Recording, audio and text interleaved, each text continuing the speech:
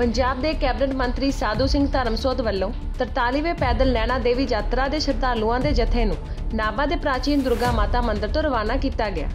ਇਸ ਮੌਕੇ ਤੇ ਧਰਮਸੋਤ ਨੇ ਸੁਖਵੀਰ ਬਾਦਲ ਵੱਲੋਂ ਚੋਣ ਵਾਅਦਿਆਂ ਦੀ ਲਗਾਈ ਗਈ ਝੜੀ ਤੇ ਧਰਮਸੋਤ ਨੇ ਸੁਖਵੀਰ ਬਾਦਲ ਨੂੰ ਆੜੇ ਹੱਥੀ ਲਿਆ। ਉਹਨਾਂ ਨੇ ਕਿਹਾ ਕਿ 10 ਸਾਲ ਦਾ ਵਕਤ ਲੰਘਾ ਕੇ ਉਹ ਹੁਣ ਸੱਤਾ ਵਿੱਚ ਦੁਬਾਰਾ ਆਉਣ ਦੇ ਸੁਪਨੇ ਲੈ ਰਹੇ ਹਨ। ਜਦੋਂ ਕਿ ਉਹਨਾਂ ਦਾ ਸਾਰਾ ਪਰਿਵਾਰ ਆਪੇ ਹੀ ਸਾਰੇ ਅਹੁਦੇ ਲੈ ਜਾਂਦਾ ਹੈ। ਪ੍ਰਕਾਸ਼ ਸਿੰਘ ਬਾਦਲ ਮੁੱਖ ਮੰਤਰੀ ਸੁਖਵੀਰ ਬਾਦਲ ਉਪ ਮੁੱਖ ਮੰਤਰੀ ਅਤੇ ਲੋਕ ਹੁਣ ਇਹਨਾਂ ਦੀਆਂ ਸਾਰੀਆਂ ਚਾਲਾਂ ਨੂੰ ਜਾਣ ਚੁੱਕੇ ਹਨ।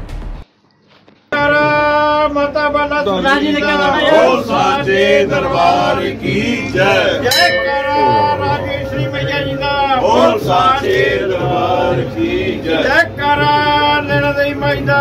ਬੋਲ ਸਾਚੇ ਆਜੋ ਆਜੋ ਬਾਹਰ ਆਜੋ। ਬਾਹਰ ਆਜੋ। ਬਾਹਰ ਆਜੋ। ਅਸੀਂ ਬਹੁਤ ਬਹੁਤ ਧੰਨਵਾਦੀ ਹਾਂ ਸ਼੍ਰੀ ਪ੍ਰੇਮ ਚੰਦ ਜੀ ਕੋਲ ਇਹ ਮਾਈ ਦਾ ਸਨਮਾਨ ਹੈ ਸ਼੍ਰੀ ਦੁਰਗਾ ਸੇਵਾ ਮੰਡਲ ਨਵੀਂ ਰਾਜ ਮੰਡੀ ਨਾਭਾ ਦੀ ਵੱਡੀ ਸੇਵਾ ਹੈ ਜਿਹੜਾ ਸਰਕਾਰੀ ਲੰਗਰ ਚੱਲਦਾ ਹੈ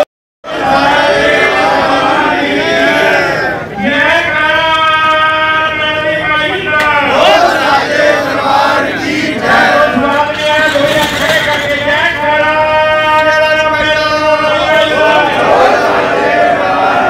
ਦਾ ਜੈ ਕਰਾ ਰਾਜੇਸ਼ਵਰੀ ਮਈਆ ਜੀ ਦਾ ਸਨਮਾਨ ਕੀਤਾ ਜਾਏਗਾ ਜਤਿੰਦਰ ਜੱਤੀ ਜੀ ਪ੍ਰਧਾਨ ਆਪਕੇ ਸ਼੍ਰੀ ਜਨਾਬਾ ਐਸਡੀਐਮ 11 ਸਾਲਾਂ ਤੋਂ ਸਰਦਾਰ ਸਾਧੂ ਸਿੰਘ ਜੀ ਦਰਸੋਂ ਕੈਬਨਿਟ ਮੰਤਰੀ ਪੰਜਾਬ, ਜਿਹੜੇ ਮਾਂ ਦੇ ਆਪ ਭਗਤ ਨੇ, ਔਰ ਹਮੇਸ਼ਾ ਹੀ ਨਾਭਾ ਨਿਵਾਸੀ ਪੈਦਲ ਯਾਤਰਾ ਜਾਂਦੇ ਨੇ ਜਦ ਇੱਥੇ ਵੀ ਤੇ ਰੋਪੜ ਵੀ ਜਾ ਕੇ ਆਪਣੇ ਭਗਤਾਂ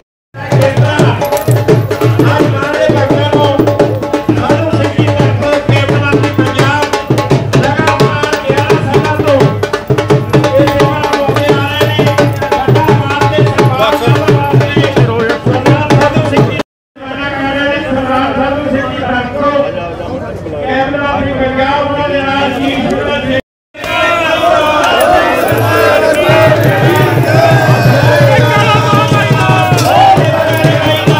ਭਾਗਸ਼ਾਲੀ ਨਾਭੇ ਦੇ ਲੋਕ ਨੇ ਜਿਹੜੇ ਖੁਸ਼ੀ-ਖੁਸ਼ੀ ਹਰ ਸਾਲ ਮਹਾਮਾਈ ਦੇ ਲੈਣਾ ਦੇਵੀ ਜੀ ਦੇ ਮੱਥਾ ਟੇਕ ਕੇ ਆਉਂਦੇ ਨੇ, ਸ਼ਰਧਾ ਦੇ ਨਾਲ ਉੱਥੇ ਲੰਗਰ ਵੀ ਲਗਾਉਂਦੇ ਨੇ, ਲੋਕਾਂ ਦੀ ਸੇਵਾ ਵੀ ਕਰਦੇ ਨੇ, ਪੈਦਲ ਯਾਤਰਾ ਨਾਲ ਜਾਂਦੇ ਨੇ। ਮੈਂ ਅੱਜ ਦੇ ਇਸ ਮੁਬਾਰਕ ਦਿਨ ਤੇ ਸਾਰਿਆਂ ਨੂੰ ਵਧਾਈ ਦੇਣੀ ਚਾਹੁੰਦਾ। ਅਰਦਾਸ ਕਰਾਂ ਮਹਾਮਾਈ ਦੇ ਚਰਨਾਂ 'ਚ। ਮਹਾਮਾਈ ਕਿਰਪਾ ਕਰੇ। ਸਾਰੇ ਨਾਭੇ ਦੇ ਲੋਕ ਸਾਰੇ ਸੁਖੀ ਰਹਿਣ। ਸਾਰਿਆਂ ਨੂੰ ਤਰੱਕੀਆਂ ਮਿਲਣ ਔਰ ਸਾਰਿਆਂ ਦੀਆਂ ਮਹਾਮਾਈ ਖੁਸ਼ੀਆਂ ਨਾਲ ਝੋਲੀਆਂ ਭਰੇ। ਕਾਫੀ ਸੰਖਿਆ ਦੇ ਵਿੱਚ ਜਿਹੜੇ ਜੱਥੇ ਨਾਭੇ ਤੋਂ ਜਾਂਦੇ ਆ ਅੱਜ ਵੀ ਜਿਹੜੇ ਦੋ ਜੱਥੇ ਜਾਣੇ ਹੋ ਰਹੇ ਆ ਸਾਰੇ ਜਾ ਰਹੇ ਨੇ ਬਹੁਤ ਵਧੀਆ ਖੁਸ਼ੀ। ਨਾਭਾ ਇੱਕ ਮਿੰਨੀ ਕਾਸ਼ੀ ਹੈ। ਨਾਭੇ ਜਨਾ ਧਾਰਮਿਕ ਸ਼ਹਿਰ ਸ਼ਾਇਦ ਹੀ ਕੋਈ ਮਹੱਲੇ ਮਹੱਲੇ ਹਰ ਤਰ੍ਹਾਂ ਦੇ।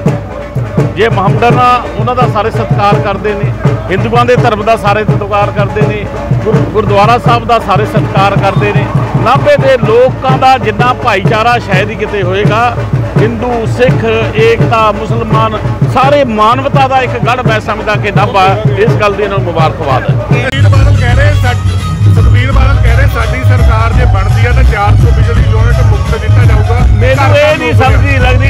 ਲੱਗਦੀ ਸਿੰਘ ਬਾਦਲ ਸਾਹਿਬ 10 ਸਾਲ ਰਹੇ ਹੋ ਤੁਸੀਂ।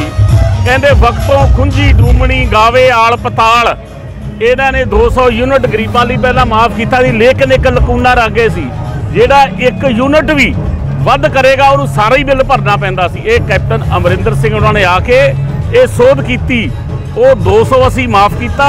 ਜਿਹੜੇ ਉੱਪਰਲੇ ਪੈਸੇ ਲੈਣੇ ਆ, ਜਿਹੜੀਆਂ 10 ਯੂਨਿਟ ਆ 20 ਯੂਨਿਟ ਆ 1000 ਯੂਨਿਟ ਆ, ਉੱਪਰਲੇ ਪੈਸੇ ਲੈਣੇ ਆ, ਇਹਨਾਂ ਨੇ ਕਿਸੇ ਨੂੰ ਮਾਫ ਨਹੀਂ ਕਰਿਆ ਸੀ। ਇਹ ਇਹ ਗੱਲਾਂ ਹੋਰ ਕਰਦੇ ਨੇ ਅੰਦਰੋਂ ਕੁਝ ਹੋਰ ਰੱਖਦੇ ਨੇ। ਕੇਜਰੀਵਾਲ ਵਾਂਗੂ ਜਿਵੇਂ ਉਹ ਕਰ ਗਿਆ ਸੀ। 200 ਯੂਨਿਟ ਤੋਂ ਜਿਹਦੀ ਇੱਕ ਵੀ ਯੂਨਿਟ ਵੱਧ ਹੋਊਗੀ ਕੋਈ ਮਾਫੀ ਨਹੀਂ। ਅਸੀਂ ਇਹ ਚੱਕਦਾ ਕੰਮ 200 ਯੂਨਿਟ ਮਾਫ ਹੀ ਮਾਫ ਹੈ ਤੇ ਜਿਹੜਾ ਉੱਪਰ ਦਾ ਉਹ ਬਿੱਲ ਲੈਂਦੇ। ਉਹ ਕਹਿ ਰਹੇ ਸਿਰਫ ਪੰਜਾਬ ਹੀ ਜਿਹੜਾ ਜਿਹੜੀ ਸ਼੍ਰੋਮਣੀ ਅਕਾਲੀ ਦਲ ਨੇ ਪੰਜਾਬ ਦਾ ਰੱਖਾ ਆ ਸਿਰਫ ਕਿਸ ਤਰ੍ਹਾਂ ਦੇਖਦੇ ਹੋ? ਉਹ ਜਾਣਦੇ ਨੇ ਲੋਕ 10 ਸਾਲ ਦੇ ਵਿੱਚ ਕਿੰਨੇ ਕੁ ਰਾਖੀ ਕੀਤੀ ਉਹਨਾਂ ਨੇ। ਡੀਜ਼ਲ ਵੀ ਕਹਿ ਰਹੇ 10 ਰੁਪਏ ਸਸਤਾ ਦਵਾਂ ਦੀਆਂ ਗੱਲਾਂ ਨੇ 10 ਸਾਲ ਰਹੇ ਨੇ। ਅੱਜ ਕਦੇ ਉਹ ਡਿਪਟੀ ਸੀਐਮ ਦੀ ਗੱਲ ਕਰਦੇ ਨੇ। ਆਪ ਡਿਪਟੀ ਸੀਐਮ, ਬਾਪ ਮੁੱਖ ਮੰਤਰੀ, ਆਪੇ ਪ੍ਰਧਾਨ, ਅੱਜ ਉਹ ਵਕਤ ਲਵਾ ਕੇ ਹੁਣ ਉਹ ਗੱਲਾਂ ਸੁਪਨੇ ਵਾਲੀਆਂ ਕਰ